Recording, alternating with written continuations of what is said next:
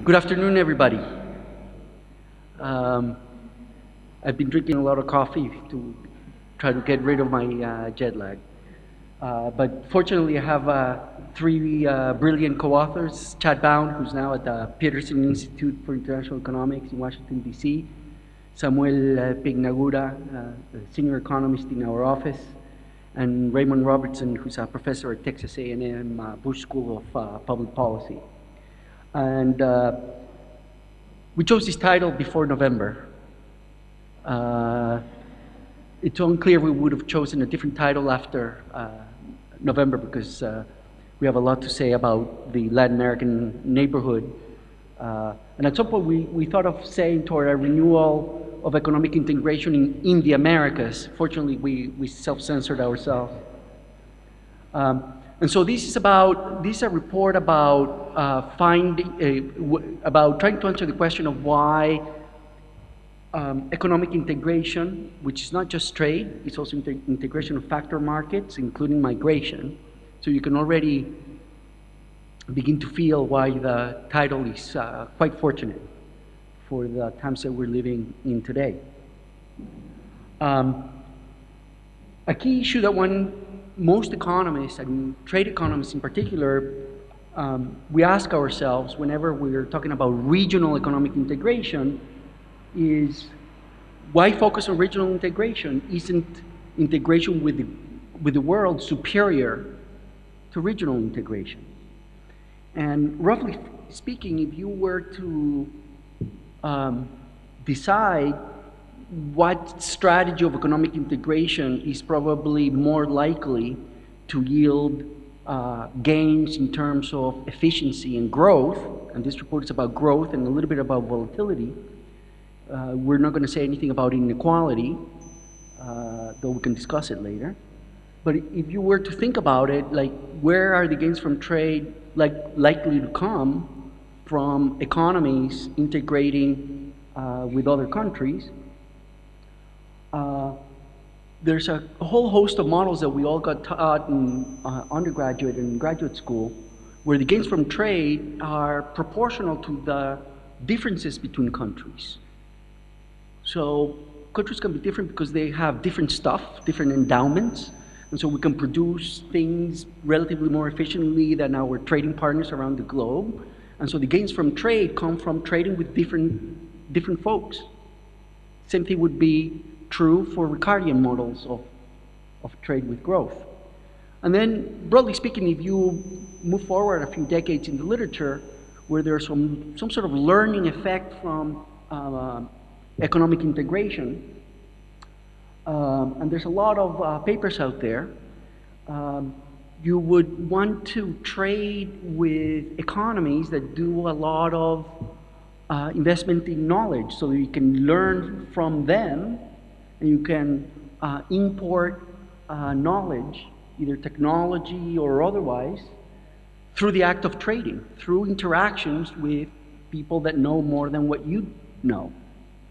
And then the third uh, type of uh, criteria that you would think about is whether or not if I increase trade or factor movements with, an, with another economy, is my economy going to be more stable? Am I going to be through penetrating other markets, am I gonna, and importing from other markets, is my economy gonna be more stable, less risky? And uh, um, I have something to say about the similarity part. Um, yeah, yeah, yeah. And so, all right. So this is about learning, and the literature has focused a lot on learning through the embedded technology in imports, basically that imports or goods and services, uh, one can reverse engineer them to sort of find out what's the R&D behind them. But more recently, there's a lot of work on trade uh, networks where exporting firms can learn from the network of markets that your trading partners have. And so in the report, we, we report some uh, results from um, econometric analysis on the probability of export survival and export entry. And here we're just showing sort of the marginal effect on the probability of, um, of, of entering a new market relative to the effect of a marginal increase in the level of income of your trading partners, right? And so you can see that the marginal effect on entry is much higher from the network effect. Basically, if you export to Mexico that exports to the United States, you can learn how to penetrate the US market. And the, uh, the marginal effects on the probability of survival of an export in the US uh, will be enhanced if you export first to Mexico and then you learn how to survive in the, in the US market. All right? So can you press back, please? Yeah. And then can you press diversification? So uh, for this chart, uh, we have a, a, paper with Samuel and co-authors where we try to decompose the volatility of global trade into the components that have to do with the volatility of our of, uh, um, supply side exporters versus importers. And the volatility of your overall trade flows depends on the volatility of your partners. And so after having done the, the composition of variances of uh, trading relations around the world, we present the results from very simple counterfactual exercises, simulations, where we say in counterfactual one, what would happen to the volatility of our exports for Argentina, Brazil, Chile, Colombia, etc., if we were to double the share of trade that we have with other Latin American and Caribbean countries. So volatility would increase.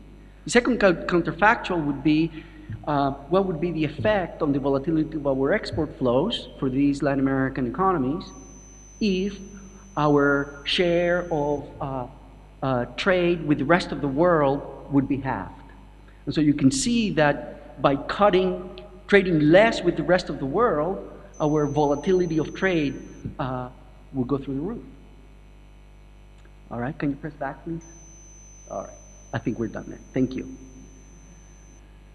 Um, so the bottom line is that um, LAC, the LAC neighborhood is composed of neighbors that are quite similar. And the closer they're together, the more similar they are. So Trinidad and Tobago is very similar to Venezuela. And Argentina is very similar to Brazil. And Uruguay is similar to Argentina. And Central America looks more like Mexico than they look like Brazil. We invest little in R&D and, and innovation, and we tend to be, for geographic reasons, and in some cases that we'll talk about later, we tend to be less globalized, so these network effects would also tend to be smaller if we emphasize even more trade with ourselves. So then why pursue regional integration, or why, why, why care about it? And it's because we cannot ignore our neighbors. Geography shapes trade in goods and services, as well and as in the movement of people across borders, and to a lesser extent, capital flows. So, and there's also evidence, uh, such as Wolfgang uh, Keller's AER 2002 paper, about the fact that even the international transmission of knowledge is dependent on geographic distance and other differences across economies. Right?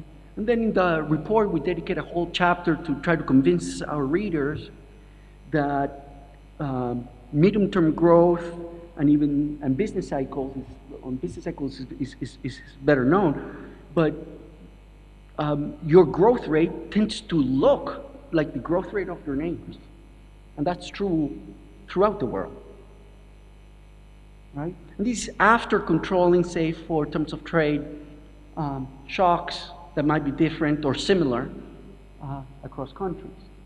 So we cannot ignore our neighbors, and therefore it's worth thinking about how we can integrate better, deeper within our neighborhoods so that the whole neighborhood can be more efficient vis-a-vis the global economy and then uh, think about it that way that it's not really a choice. Geography condemns you to, to worry about the nature and quality of integration with your immediate neighbors. And there's some uh, very simple examples that we try to develop a little bit in the report. One is that um, there are certain types of goods and services that get traded across borders, but the cost of distance over of transporting those goods and services is so high that they actually only tend to be traded regionally. And therefore, for those types of goods, there's no tension between global integration and regional integration because regional integration means global integration because you're not gonna, for example, import electricity from China. And you're not gonna import transport services, for example, crossing the border between El Salvador and, on, and, and Guatemala from China, right? You're gonna have to build the road, and you, uh, you have to connect the electricity grids, and uh, this trade is, uh, is regional trade because of uh, the barriers to, of geography. And since geography also, in a sense, forces us to trade more with our immediate neighbors, then it matters a lot how our immediate neighbors are themselves integrated with the rest of the world. So then the issue is how, and I'll, I'll uh, I think the report is very rich in, in sort of academic style uh, research and happy to talk to about the details. But just give me the rest of the, the time sort of lay out for you the way we see our sort of effort to put forward for the region, for Latin America and the Caribbean, an agenda that is somewhat concrete about how we can improve our neighborhood through an intelligent way of thinking about uh, regional integration and what that means for globalization more generally. So the first item in our um, five-pronged, it's five, five-pronged uh, agenda for the renewal of economic integration uh, in the Americas, I mean Latin America and the Caribbean.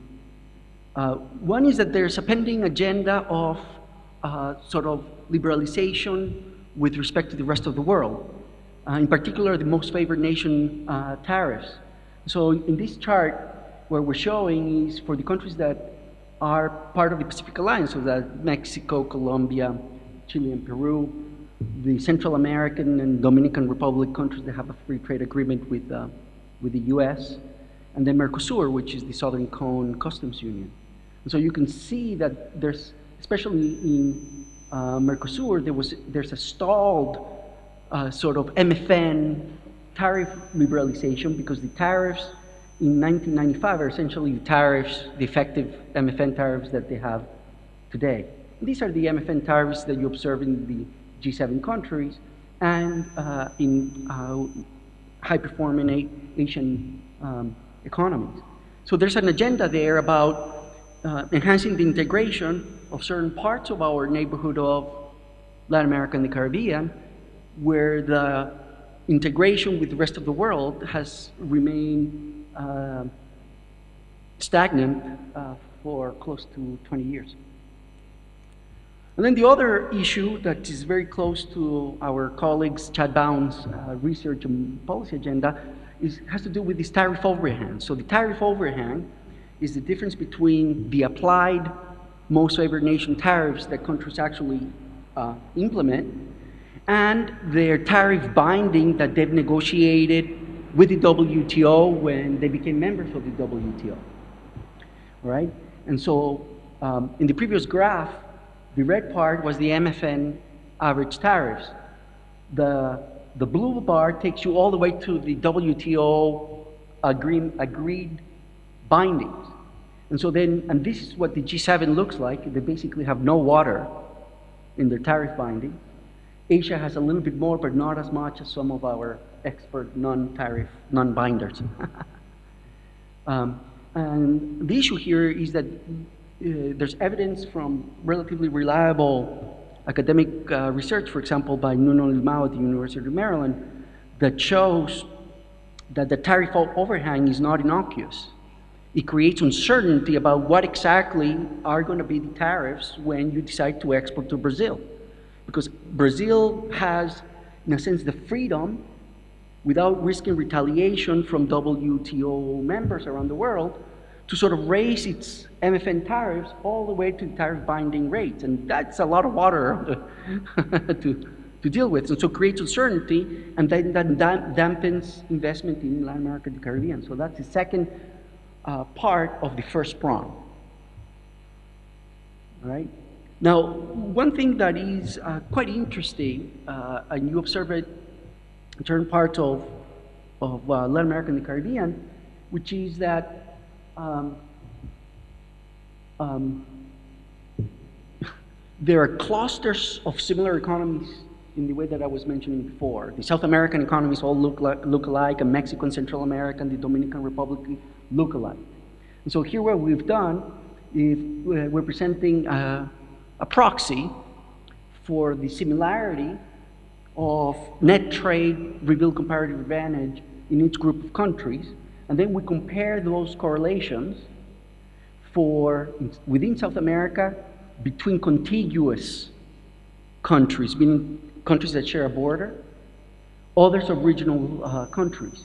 And so look in South America how the level of similarity, both the median and the average, are quite high when you compare it to how similar they are with respect to other regional countries, meaning the rest of Latin America and the Caribbean, and the rest of the world. In Central America Mexico, sort of a, a similar story, where they, on a net trade basis, they export the same thing, net export basis, right? Uh, but there's greater scope for gains in South America. And then uh, in the Caribbean, it's, it's, it's, the same story. So throughout the Americas, not only do we have uh, the challenge I was talking about earlier of maybe liberalizing further trade with the rest of the world, uh, but also between different subgroups of countries in Latin America and the Caribbean and the rest of uh, Latin America, and in particular where we see more scope for progress in terms of regional Latin American and Caribbean integration is between Mercosur and Central America and Mexico, and to a lesser extent with the rest of the Pacific Alliance. This is the transition. All right. Now, the third part of the agenda that we're putting forward in the region, or for the region, is one that has to do with harmonizing rules, the rules of the game. And so, uh, one thing that we don't get in that much detail as we would have liked in the report, but that we do recognize is, is that uh, we're experts at non tariff measures. And removing those non tariff measures, um, um, because of the nature of the measures, those imply efficiency gains that do not cause trade diversion. So it, it sort of dilutes the usual tension between trade diversion and regional integration. But there are other examples. There's uh, Mexico nowadays, for example, has 45 or 44 trade agreements around the world. Chile has even more, right? And each free trade agreement that these countries have has, some, has a chapter that is the longest chapter in each agreement, which is on rules of origin. And these are the rules that define what is a product that's made in Mexico, what is a product that's made in Chile, so that it is eligible for preferential treatment in their trading partners. And so then this creates, uh, so if you're a producer um, in Mexico or, or, Chile, and you're producing, uh, you're producing a, a widget, and you are trying to decide where it's more convenient or profitable to export it, you have to sift through. I mean, it's it's quite. Uh, you're probably going to need at least one lawyer to figure it out. Um, and so there's a big push in the region, not only by us, but by by others, such as the IDB and Ernesto Talvi at uh, the Brookings Institution. They're trying to do a big push about uh, consolidating rules of origin by uh, allowing origin from other Latin, Latin, American countries to count as your own national origin. That's essentially the, the agenda.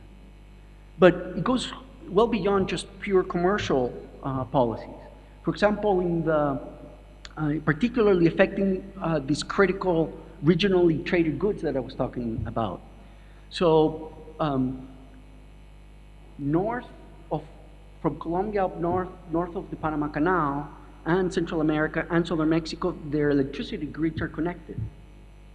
But there's very little trade in electricity, because we haven't figured out the, the uh, re- regulation of an international electricity grid, right? And at the very least, if, if, if, if we were able to solve this regulatory morass problem, uh, at the very least, the electricity provision in Central America, which is not, they do need air conditioning and light, uh, it would, the supply of electricity would be more stable and cheaper. Right? The fourth item in this five-pronged agenda is transport costs. And this is the, this is the same, it has sort of the same, uh, at a conceptual level, productivity, efficiency gains as, uh, as a reform that improves uh, productivity, and therefore it doesn't create tensions between global trade and regional trade.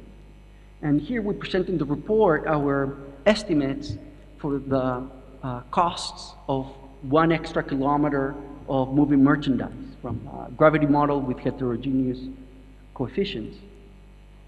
And let's see, is there, yeah, there we go. All right, and so with the rest of the world, we're only uh, Middle East and North Africa and South Asia have a marginal effect of, on, of distance on bilateral trade flows that are more severe than, than ours. And for regional partners, we, we have the costliest kilometer in the world. So there's something that is not quite working. It's, uh, it might be an issue of customs reforms.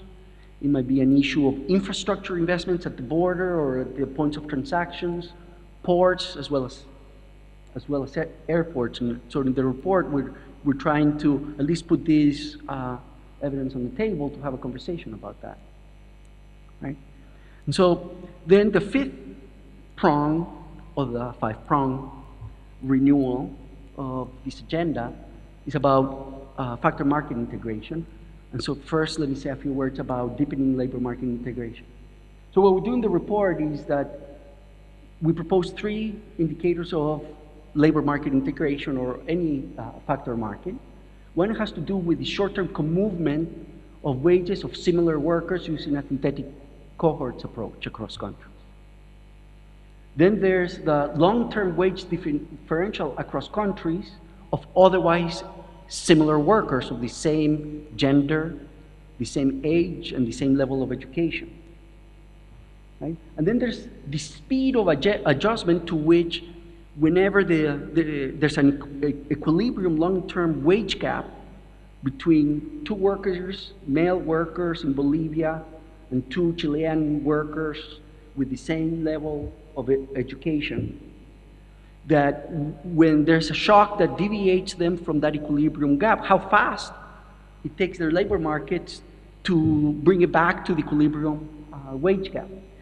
And then to have benchmarks of what those indicators would look like in the context of labor markets where there's no artificial barrier to the movement of labor, we compare these three indicators to what you would observe within Mexico and within the United States. And then there are some surprising results.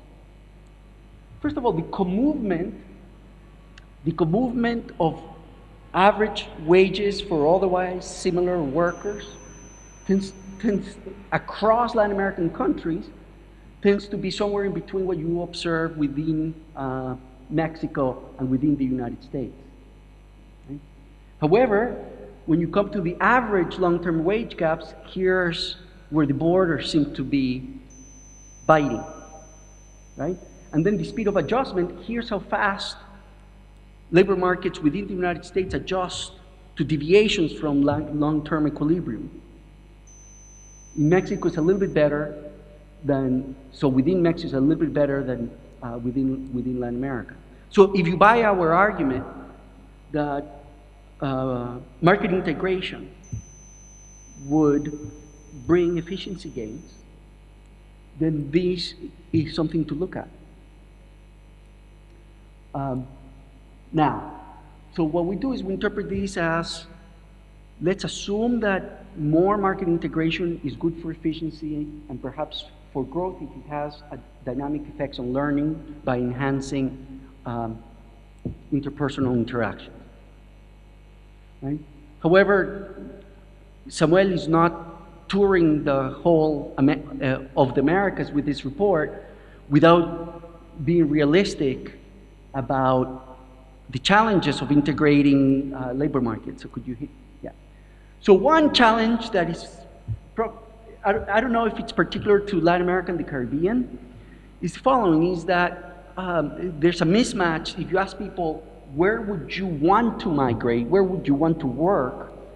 Relative to where they end up, there's a mismatch. So um, actually, Brazil gets a law, has a very high immigration uh, rate. But very few people from the outside of Brazil, when you ask them, would you want to go live in Brazil? Very few of them say that they would want to. So the first uh, sort of challenge, if we were to remove borders and allow people to move, it's unclear that they'll end up where they want to. And, and, and, and want is a welfare variable that we don't study beyond uh, this assertion. The other thing is that at, at, at the cross-country level, the countries that have higher immigration rates are the countries in which the share of the population responds uh, opinion surveys with a negative attitude towards immigrants.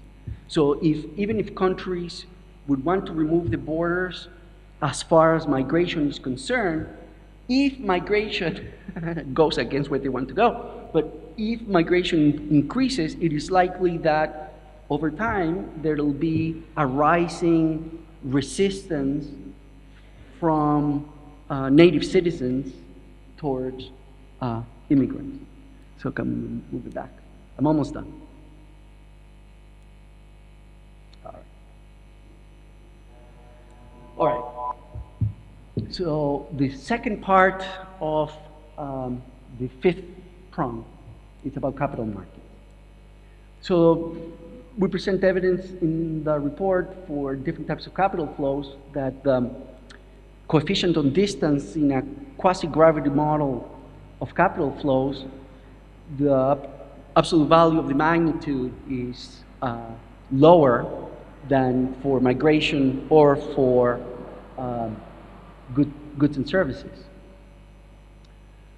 Uh, nevertheless, so there, you know, one wonders then why is it that, for example, the Pacific Alliance has uh, invested so much time and effort to um, implement an agreement to have a single trading platform for bonds and securities. Right? And when you read carefully what the Pacific Alliance chapter on this does, is that it harmonizes standards for trading securities across all four uh, securities markets. So in a sense, what they're doing is they're making it not only easier for potential investors in Mexico to invest in Colombia by having a single uh, regulatory framework and platform for trading in securities.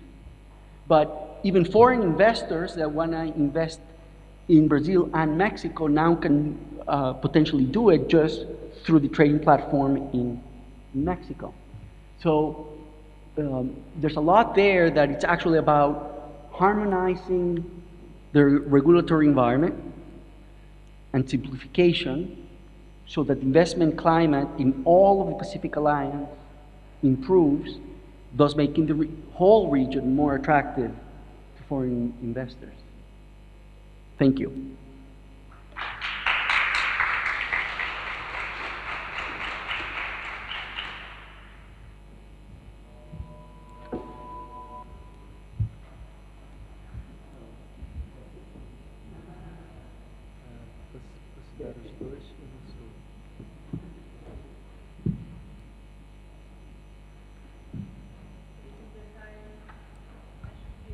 So thank you very much for inviting me to discuss this, this, this report. I thought, I thought in the beginning it was a paper, then I, I realized it was a long, a long report. So I don't know why they, they, they asked me to, the, the organizers invited me to, to discuss or to say something on this report. But what is true is that I, I, am in, in charge of a small course on globalization in Catholic Lisbon School. And uh, by chance, just when I began to read it, I think that, well, this maybe has something to do. Because one of the, uh, the first of the three topics of this course, uh, I, I, decided to, to call it Growing Together. And, and growing together is very much like this regional integration that you are talking here in this report, even if what I have there in the course is much more questions than answers. Uh, and I think that in this report, maybe still we are, we are having a lot of questions and some answers. So, but, so just, just because we, I just have 10 minutes, so let me, let me just say what, what I what I took from this report and some, some comments that I think are really interesting. So I think, I think we have to take some, uh, some points before we begin into the discussion. One is that we know that uh, um, since 2005, since the failure of the WTO uh, uh, round, we stopped doing this increasing multilateral agreements. So then I think it, we, we began to see more and more regional um, arrangements. Uh, and, uh, and, and, what, what came then was that these regional agreements was really seen as a second best alternative to the multilateral arrangement. So people understood that we have this, by going to regional, we have this costs of uh, uh diverting some, some trade or flows of people, of capital, whatever you think. And um, I, I, think that it's always very difficult to quantify how much you gain, how much you lose. So this is something that I think, but, but it was seen as the only way to go. It's not very, there's not much, much more options to, to, to, to improve what, what has happened until then. The second thing that I think we have to, to, to, to think is that we are talking about a very specific region, so we're not talking about regional agreements in the world.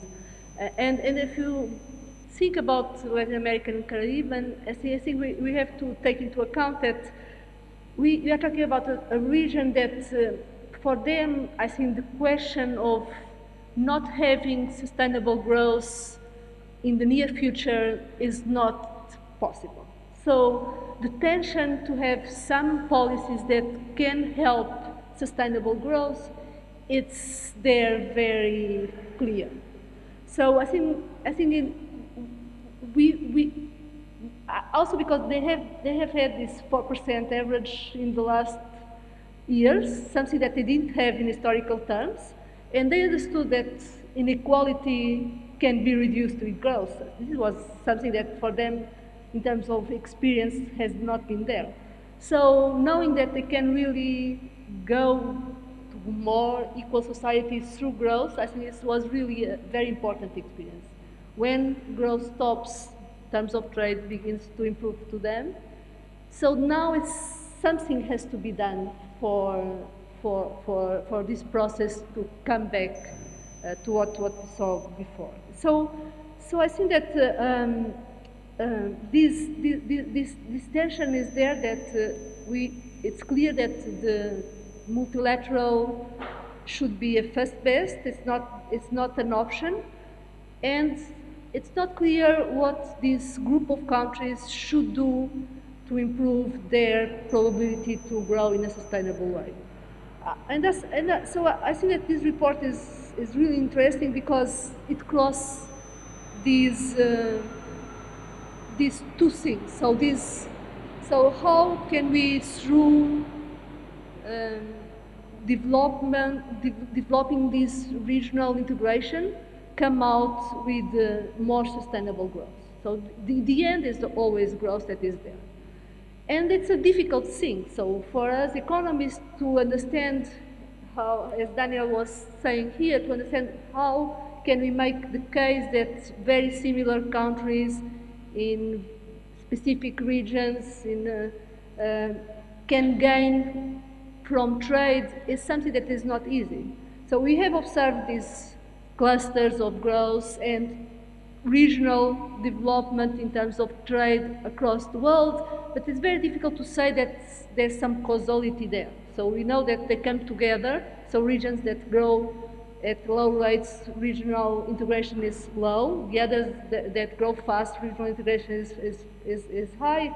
But it's, it's very difficult to say that this, what causes what, there's not a third thing that is causing both.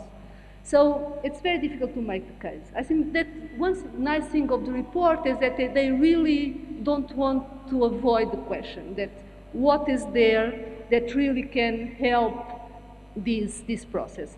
And what they come out is with this idea that the regional integration can be a way to go to global integration. So it's not, so it's not because regional integration will be the reason to be able to have a sustainable growth per se, but it will be a way to be able to integrate globally stronger, and this, yes, will be very helpful to growth. And so this complementarity between regional integration and global integration is something that is very different from the substitution, substitution between the two concepts that we have until now. And I think this, this is really important. Uh, and then I think it's, uh, uh, we really have to go a bit deeper in terms of understanding how can we foster this regional integration. And, and I think we have because I have short time, I, I, let me just put two, two ideas that come out of the, the report. One is, since the, the ultimate, ultimate goal is always growth, I think the question of R&D and uh, knowledge is, is key in this report. And there, the tension that I, that I think we, it's important maybe, maybe to, to go a bit stronger is that we still need to understand what happens in this part of the globe. So I think it's, they make the case, I think, in a nice way that say that, well, we have um, the, the, the, the, ability, ability to adopt some technology of, of some, or some knowledge can be easier if you have some similarities with your neighbors than instead you are trying to adopt something that is not really transferable because of different of institutions or, or, or any other thing. But then the question that is really there is then, but you need to have something to be adopted by the group. And then the question why Brazil and Mexico, that are the large players, are not doing something that we know that scale is really important, comes out as something that is not really solved. What are the barriers for this country really to have some type of research and development that can be then be adopted by this group? This is, I think, is, a, is, an important question. The second question is that they make, I think, in a nice way, is that trading can be a way to learn, and through learning, there's a way also to increase TFP. And I think the, the focus is very much on exports. They talk a bit about through imports, I can also learn a lot, but when they provide measures, it's not clear that the measures are in, in, in terms of imports. And I think these two, these things can be really make the focus in a different way. And then I think they have a different, a different focus that I think is also relevant, and maybe it's a way to go on this explanation.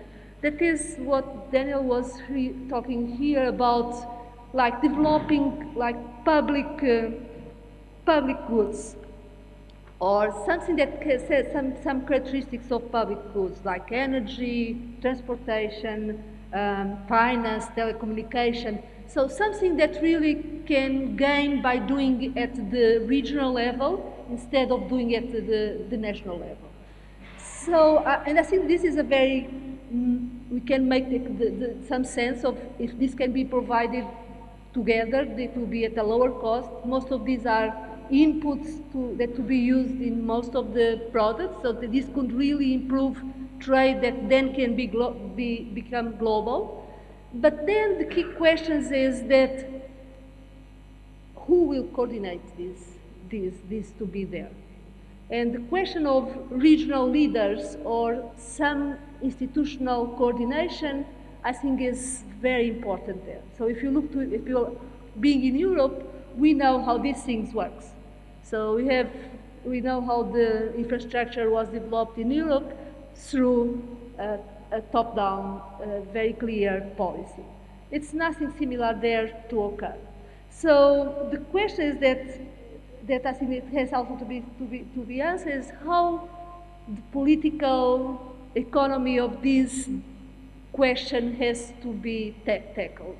And, and, so I think it's, um, I, I, think, I think if maybe if, if the, the gains from this regional integration are more clear, we can really make this as an engine that you would lead to more cooperation and would lead to the necessary coordination without breaking the, the, the, the equilibrium, political equilibrium across this group of, of countries. Just a, a, last caveat that I think is important, and again, coming from Europe or being in Europe is very important, is that we know that the European uh, Union wa was built in a very gradual way, step by step. And here is where my pessimism is more clear.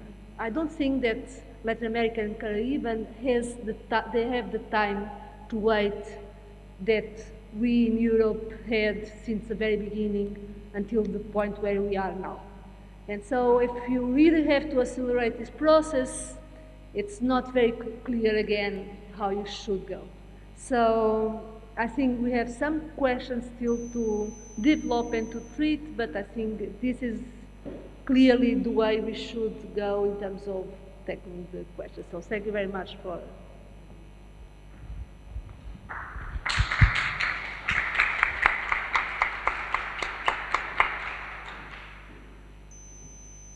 you. Um, many of the things you said I'm going to touch in a slightly different way. So I think we're going to complement one another without having planned it. But first of all, thank you um, for writing this. It's easy to read, very informative. I think there are some unanswered questions, as Isabel touched upon. Um, I would like to divide my comments into two sections. First, my take of your story, and then two specific questions about the policy implications. The story, I understand, is about the what, what you've done and why you've done it. And then the how. How do you actually take it to the next level? And in a certain way, perhaps I'm going to ask you to address two questions which you've thought about but probably haven't written enough here. Uh, but let me start with the story. I try to understand what you've written. It's a story about growth, really. This is your starting point. You say growth has fallen back. There's been the element Isabel's referred to that growth is now seen as reducing inequality, bringing about better prosperity. But the, the, the fact is there's lower growth. And there's the belief. So the story has a belief, a tension, and a complementarity, which you introduced, uh, and then the consequences, which is in your title. So what is the belief? The belief is you can grow more if you integrate more. Um, then you move on to, okay, where's the tension? Uh, to integrate more, you look at the geography. This was, uh, for example, the gravity model. What is traditional sort of gravity model telling us? If you have a big neighbor, big in size, that helps trade. And the further away your partners are in trade, the less you trade because it's more costly. That's the, and you come to the conclusion that distance still matters, even under globalization. Then you talk about integration. Integration in two channels. The first channel has to do with the country differences, which you also mentioned here. So countries which are more different have bigger reasons to trade. Um, in Latin America, the neighbors are very similar, so that's a problem. And then the other thing is you learn through trade. You improve technology, knowledge through trade. And there's a friction in that trade. So there you want your learning partners to be close to you. So the tension is sometimes you want your trading partners to be close for certain reasons, but sometimes they need to be very distant for others. So this is the tension. And of course, this is all taking place in the environment of regions, globalization, so various interactions. And I'm going to refer three levels, national, regional, and global. Those are going to be key to the way I then put the two questions to you. But here we have this tension. How do you resolve it? You resolve it by saying, look, the old integration, which is just focusing on the neighborhood, not good enough. The neighborhood has to be more open to the world. That's where you bring in globalization. And you introduce the concept of open regionalism, OR. How do you do it? The five pillars of the strategy. What are the five pillars? Well, you have three which are really trade related lowering tariffs, you have uh, preferences in relation to your tariff partners, and I threw in another one, the harmonization regulatory approach. You're really focusing on the trade side of things. So, three of the five are related to trade. One is already going more to the sort of integration, single market kind of idea, closer to the European model, which is the factor markets. Again, um, that's another step because now you're trying to integrate production.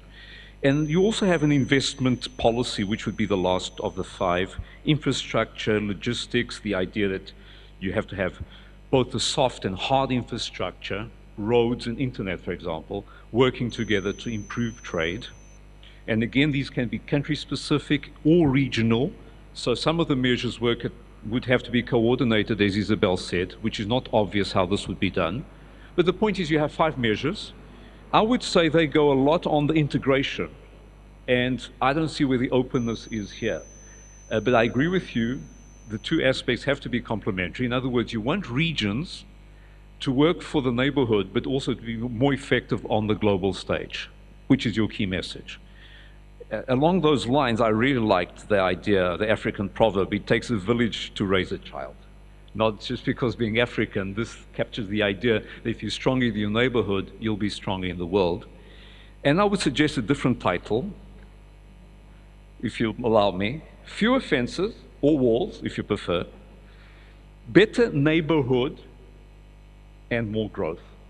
That's really what you're wanting. You're wanting to break down barriers increasing the benefits for trade, reducing obviously all the mitigating factors which could affect that trade, but ultimately it's a growth story. Another two questions. And I'll ask you to bear in mind the three levels national, regional, global. At the national level, obviously, how you sell this also in countries with huge inequality and great development challenges, how do you sell the idea that more integration is good for growth. So the growth linkages are implicit. There's the belief. We all like to believe that more, more integration will bring about better growth and better inequality and development, but it's not clear. So that would be my first question. What linkages do you envision? The other uh, question I have, in addition to the implementation one, it's not obvious the political economy within the countries and within the regions. For example, you mentioned the Pacific Alliance. There are existing regional trade agreements, alliances, more protectionist sometimes, more liberal, which is one of the reasons the Pacific Alliance came about. They didn't see themselves belonging to the club of many of the existing regional trade agreements. So, how would you implement it? A policy question. Uh, the growth aspect, and also how do you see it to be more global? How could it become more open? Actually, three questions, but all related. Those would be my comments, but to finalize, it is a very interesting starting point. If you, if you bring the linkage to growth and the link to the rest of the world, I think you stand a very good chance of getting policymakers to start listening to you and understanding how they would go about selling this to the electorate and getting the, the bureaucracies to work in the direction you're probably already thinking about. Thank you.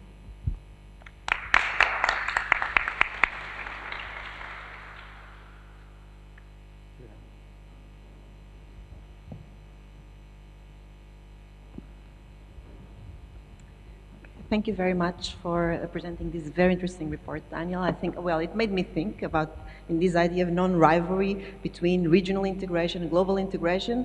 Honestly, it was not obvious, but all of these discussions have helped me very much understanding. My, my thoughts were more on the migration part. So, um, in my view, you are slightly pessimistic, meaning you, you say that there are regions here that clearly are in need of immigration. Uh, I understand, or uh, even though I did not see the report in all detail that you're mentioning, like more skilled immigration. And then you are worried about what will follow, namely in terms of reactions, okay, like anti-immigration sentiment. So I would say that maybe we can be a bit more optimistic here, and we can try to think, and maybe we have done so already, about policies to promote this type of immigration. Um, and I'm thinking, okay, both of positive incentives, but also things such as recognition of qualifications, these kind of things. I mean, all of these, again, to take the European example, all of these has been put in place in Europe, and that's one part of the success of the, well, of the partial success of movement of people within the European Union. So I think it's, I mean, there is something positive that can be done here to promote this type of integration on the one hand, and then on the, yeah, the reaction of people against immigration, I think this is not as obvious. Okay? So what we know about the impact of immigration is that, yes, it tends, it tends, or about the winners and the losers of immigration is that lose, I mean, people that lose are essentially the migrants that are already there. But this happens oftentimes at the unskilled level. So if you are talking about skilled immigration, this might be something that actually promotes, I mean, regional um, economic activity. And this actually, I believe there is a chance that people, I mean, locals, they will be happy, they will stay more in their regions, and this can be more of a win-win situation. So that, that was my view here. Thank you.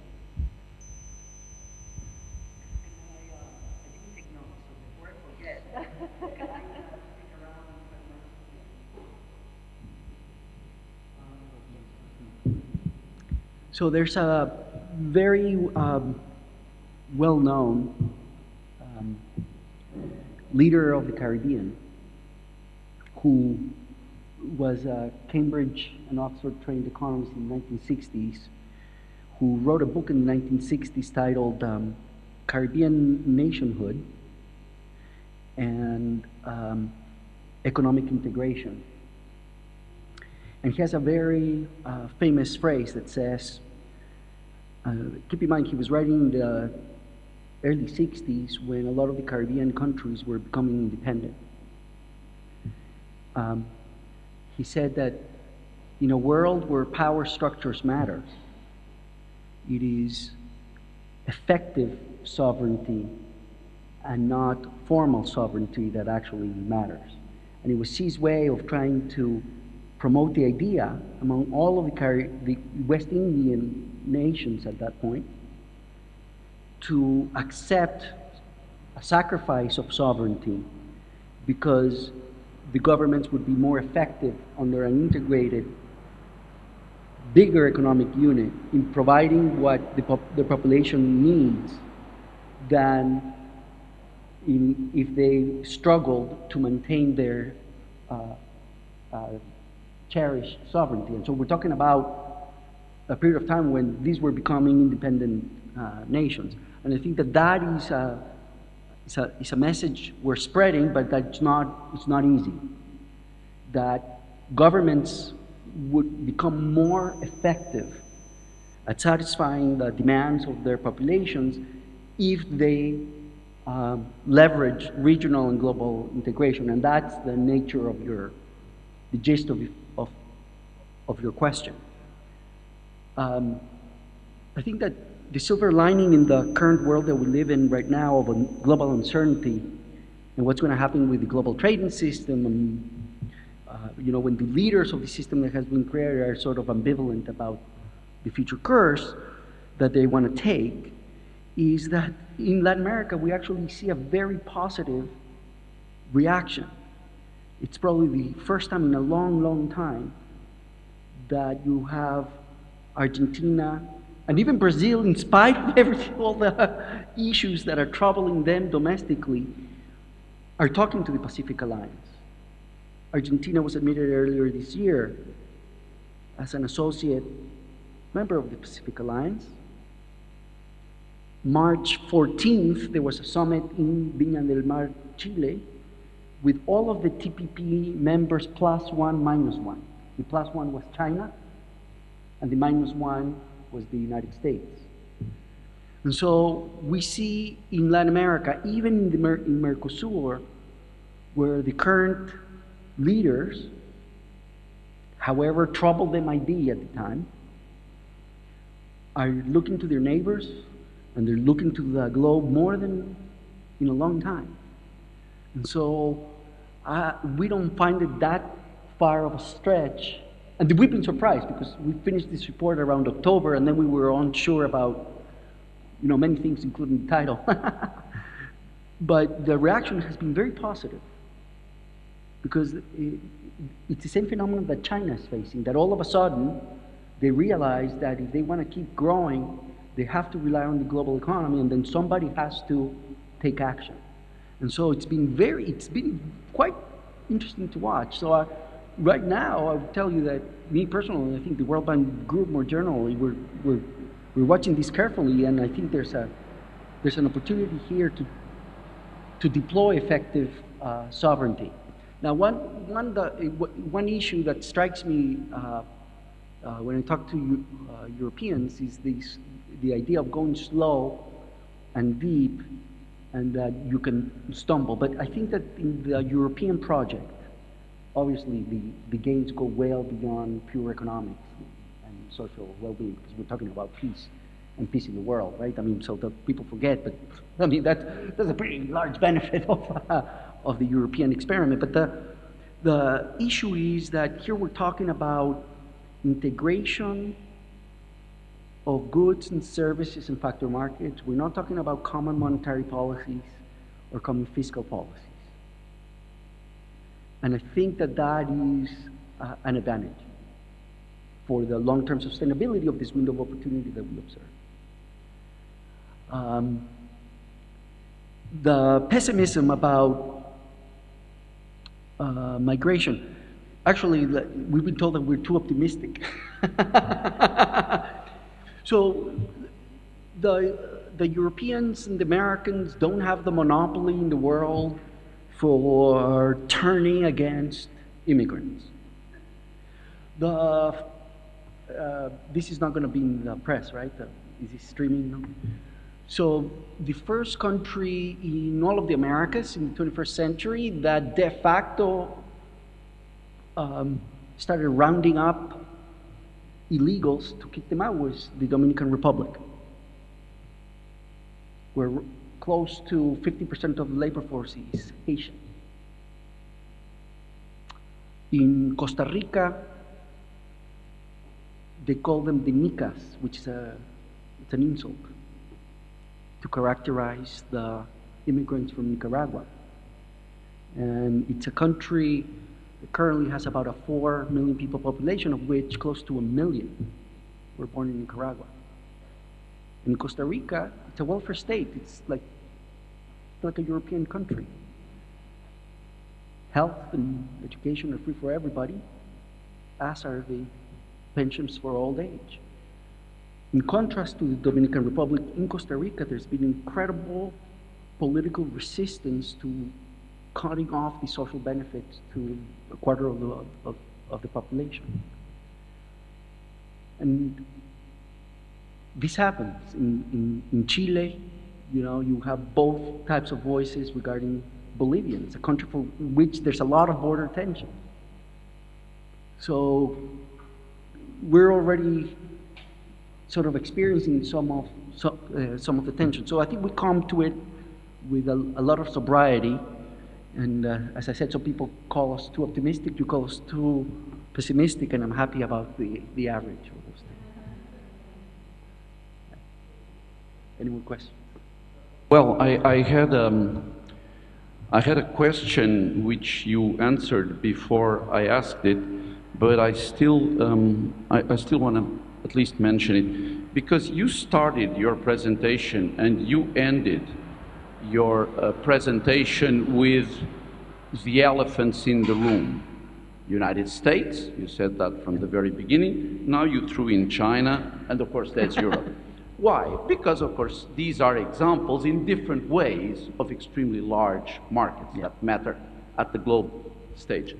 I wanted to you to elaborate on that. Now, I, am not so sure because probably there's nothing more to say. Let me, however, quote another report of the World Bank, which has an interesting title. Uh, this one is nice, by the way.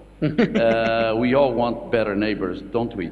Uh, we Portuguese are a little bit obsessed because there is one neighbor to the west, it's the sea, we're friendly, and there's another one, and we're friendly too. So, yeah how can they be better? But anyway, the, the, the, it's called uh, globalization backlash, And the point is that South Asia can benefit from it.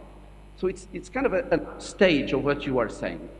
Um, if, uh, precisely because of the three levels that uh, Luis uh, uh, mentioned earlier, if globalization is, well, not as dynamic, let's say, in the last few years, some regions that are integrating will gain because the complementarity between the regional and the global is still there, but there's less, perhaps, competition from outside the region. So, in a way, what I would have liked, I guess it's, you know, those are the borders of the departments in the World Bank, would be that some of the lessons of South Asia, um, let alone of, um, again, China. You, you mentioned it, so I, I, really, I really should not insist on this because uh, you know, we're running out of time and I cannot make negative closing remarks.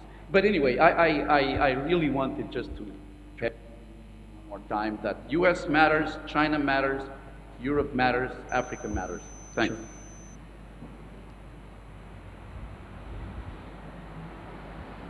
Anybody else?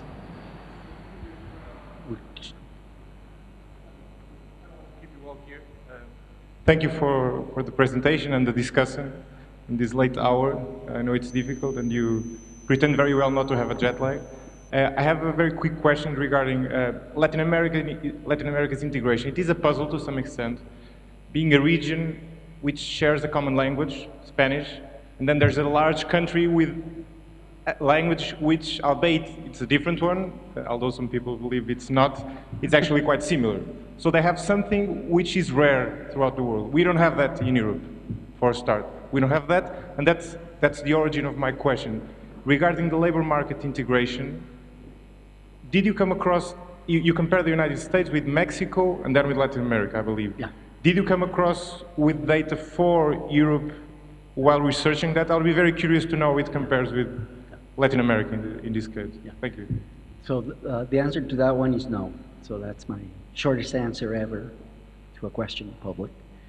Um, I think it would be interesting to, to do it. Uh, what we presented in the report is using exactly the same methodology so that there's no question.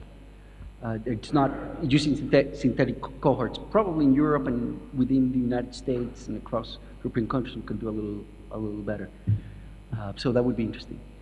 Um, on um, East Asia, uh, we do talk a little bit about it uh, in the uh, in the report because in East Asia you do see this phenomenon where intra-regional trade is um, growing in tandem with uh, GDP per capita growth. Now the issue there is that if you had just had growth, intra-regional trade uh, would have emerged.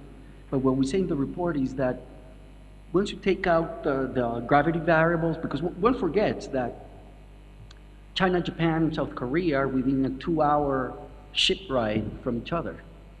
So, I mean, you have the world's largest factory right there with markets the bil billions of people, right? So it's, uh, and so once you take that into consideration, uh, the Americas uh, doesn't look like it has a deficit in, in regional integration. It's more of the, the efficiency of that, of that integration. In fact, the, if you include uh, the whole Americas, uh, the Americas tends to overtrade, if there is such a phenomenon, with each other because we've spent 30 years giving each other preferential treatment, so it sort of makes sense.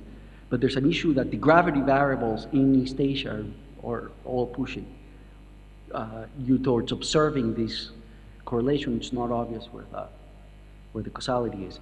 What I think it's much more interesting of these economic giants is that somebody has to take leadership in sustaining international institutions and rules because there aren't, there's no judicial jurisdiction over those rules, but for the international leadership of the systemically important countries.